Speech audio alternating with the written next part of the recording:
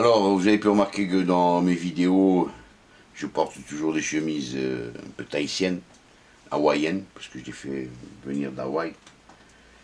Et comment faire des vidéos si on fait au, moins, il faudra faire au moins une musique un peu tahitienne et notamment rendre euh, hommage à quelqu'un qui a modifié une belle, belle chanson qui était euh, du film de Judy Garland.